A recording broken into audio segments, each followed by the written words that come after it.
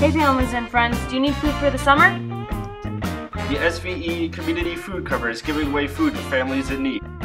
The food cupboard serves over 250 families and are always wanting to help more. Open 4 to 5.30 on the second Thursday of every month and 9.30 to 10.30 on the last Thursday of each month.